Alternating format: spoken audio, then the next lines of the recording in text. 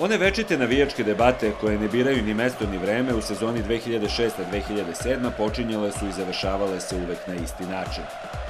Pre nego što bi ispomenuli šestogodišnju nepobedivost voljenog tima, zvezdaši bi svi do jednog istakli 11 godina čvrstog utvrđenja Marakane.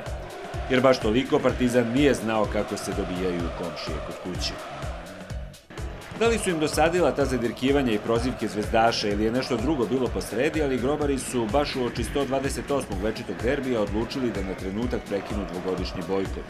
Sednu za sto sa novom upravom crno-belih i bar 90 minuta zaborave na sve svoje zahteve za smenu direktora Nenada Vijekovića i generalnog sekretara Žarka Zečevića.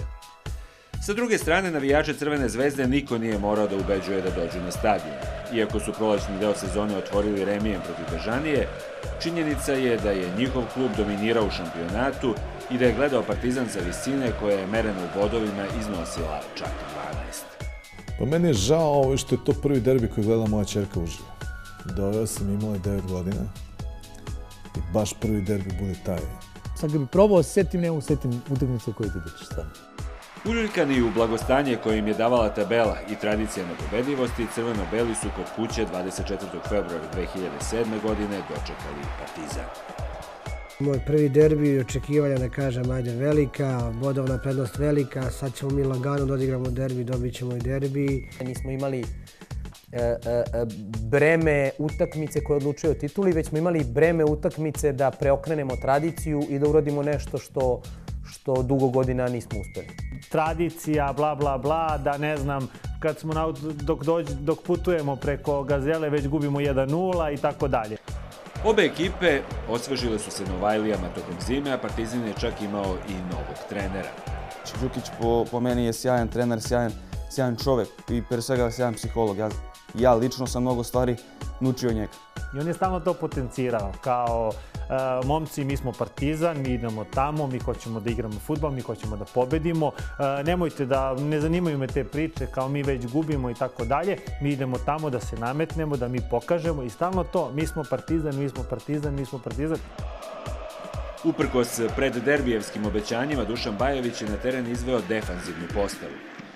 Zvezda u ovakvom obliku jednostavno nije imala odgovor ni na jedno taktičko pitanje Miroslava Đukića, kojima je ne iznenadio nego šokirao iskusnije kolege. I mislim da, smo, da je to bila iznenađenja Zvezdu, jer smo izašli visoko, napali njihove štopere i igrali visoko. Mnogo respekta trenera Bajevića kao trenera i kao čoveka. Mislim da nismo imali psihološku pripremu za tu utakmicu i da nismo, da nas, da je malo ta bodovna razlika od 12 ili koliko već bodova je bila, e, malo nas je opustila i mi nismo ušli u tu utakmicu kako treba. Od samog početka meča teren je bio Partizanov. U prvom minutu utakmice sam dobio takav udarac od Gaja, tadašnjeg štopera Zvezde, da sam bukvalno počeo da krvarim i ono, treba da izađem. I govorim sebi, ono, 35.000 ljudi, tada je stvarno bilo, ono, kaže, alo, čoveč, igraš derbi prvi, kakvi da izgleda, ono, daj bre, kakva krv, nema ništa, meni je ceo dres bio krvav, to do, smirivao se, ne znam, ja vrti mi se u glavi, manta mi se, nešto me udario nogom u glavu, bukvalno. Ali sam kao ostao i ispostavilo se kao dobar potez. Futbaleri u crvenom jurili su ove u crno-belim dresovima, koji su u osmom minutu došli u prvu izglednu priliku za gol. Tomić je međutim pao u 16 tercu zvezde, ali penala nije bilo. Sećam se da sam ovaj, imao onako možda i i neku reakciju u odnosu na sudiju zato što se sećam da, da, da je postao kontakt s protivničkim igračima, odnosno da sam bio ovaj, odgurnut od strane protivničkog igrača. Međutim, nakon toga kada sam gledao snimak, to uopšte nije, nije tako izgledao, nije moglo da se vidi. A verujte mi na terenu da je to bilo potpuno drugačije i da je to dosta doprinelo da, da, da dovede do toga da promašim, promašim tu šansu. Nekoliko poluprilika crno-belih bile su uvod u šansu meča. U kontri 4 na 1 Tomić je umesto gola pogodio Bastu. Činilo se da golova neće biti u prvom polovremenu i da će ovaj derbi, poput prethodnog, razočarati gledalca. Igrao se 40. minut, prvi korner za Partizan. Izvodi ga Lomić, dobro ubačena lopta, Đokić kasnije, debitant Mihajlov skače i pogađa mrežu Vanđelovića. Opet adrenalin, to, to, je, to je neverovatno, stvarno, to, ja to ne mogu da opišem, to je, to je neopisiv osjećaj, stvarno. Posle toga sam se, to, toliko sam bio prazan, da sam se jedva vratio na svoju polovinu. To je, to je bilo nevjerojatno. Ja to nemam u glavi, ja ne znam o čemu ti pričaš, majke. Nervozni su i jedni i drugi. Dobro će im doći i hlađenje u poluvremenu. Ne štede se večiti rivali, već posle dva minuta nastavka opet se zatresla mreža zvezdinog gola. Lazetić je bio precizan, ali i u nedozvoljenom položaju. Čak 53 minuta se čekalo na dobru i efikasnu akciju crveno-belih. Burzanović je poslao loptu do Ćokića, ovaj je spustio za Kastilja, a Ekvadorac zakucao loptu pod preču. Pa moguće ovo, igramo strašno, imamo puno šansi. Povedemo 1-0 i iz prve šanse protivnik vam postigne gol. Ali to je ta prva reakcija u trenutku. Već sledeća je, ma da, igramo dobro, idemo dalje, nametnut ćemo se, uspećemo da postignemo još koji pogodak. U tom trenutku izgledalo je da će i ovaj derbi da se završi kao i nekoliko prethodnih, u kojima se Partizan naradio, a Zvezda na kraju završavala i naplatila posao. Izgledalo je, ali samo u tom trenutku. Tri minuta kasnije, posle prekida na desnoj strani, lopta se nekako odbila do usamljenog Bajića, koji koristi situaciju i vraća prednost svom timu. Stvarno ne želim da se sećam tih trenutaka. Zvezdi kao da je drugi primljen gol vratio hrabrost koja joj se isplatila sa dve poluprilike za gol. Kasno je ipak domaćin shvatio da ovo neće biti jedan rutinski derbi. Neumoljivi su crno-beli. Partizan u kontri i to u ko zna kojoj po redu. Ovog puta uspešno je završava Nebojša Marinković, kojem se posle šuta Lazića lopta odbila na nogu.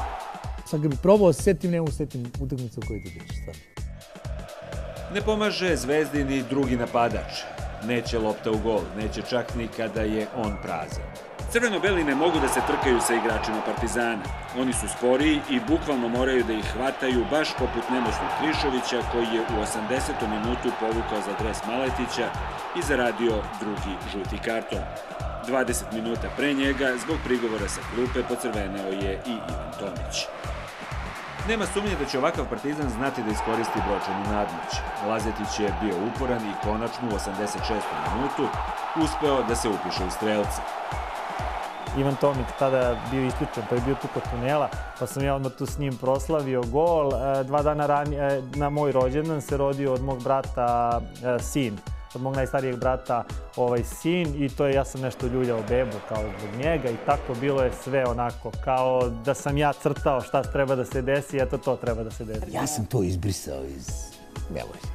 Evo, ali ja, ja se uopšte ne foliram. Naravno da golman u tom momentu sa četiri gola u svojoj mreži se osjeća najneprijatnije. To su bili golovi u tom momentu nadbranjivi i nije bilo ni malo prijatno i zato kažem u tom momentu ja sam, ja sam prvi jedva čekao da se završi ta utakmica jer sam video da nam ništa ne ide u tom momentu za ruku. Teško je setiti se golova koje su zvezdini futbaleri postigli na svojoj Marakani, a da nisu proslavljeni. Jedan takav je i gol Burzanovića u poslednjem minutu regularnog toka 128. derbija. Zaslužio je Partizan ovo radovanje. Mada, jedan mladi igrač crno-belih posle meča nije baš znao da kanališe sve emocije koje budi pobeda u derbiju. Mislim da je to Crvena zvezda neko osvoji titulu sad ako hoće. Ako ih nije sramota, naravno. Ovaj. Molim? Što je bilo sramota? Zato što je trebalo boju 0-9. Ali dobro.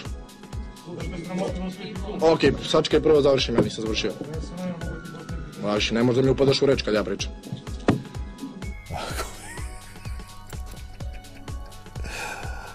to to je toliko karakteristično. O, to, to, ta, ta naduvenost i, i taj bezobrazluk ovaj, koji dolazi sa jedne oficijalne pozicije kao što je uh, igrač na pres konferenciji ovaj, čuti kad ja pričam da, da, da me prekineš i da vam kažem ovaj, razbili smo ih znaš, ono,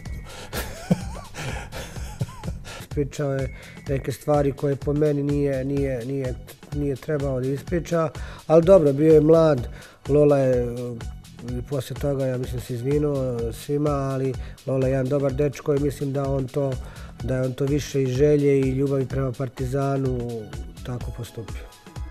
Ovaj bolan poraz nije omeo Zvezdu na njenom šampionskom putu u sezoni 2006-2007, ali kao da ju je baš on usporio i saplitao u svim narednim sezonama. jer tog dana tvrđava je konačno pala i nešto se zaista promenilo u srpskom futbolu. Mislim da je tada krenulo ta dominacija Partizana koja je trajala šest godina, tako. Možda smo negde i utrli put tim kasnijim duplim krunama, titulama, pobedama i svemu što se dešavalo do evo, bukvalno današnjeg dana. da, sećam se, ali sad već jebi ga, dobili su nas govnari.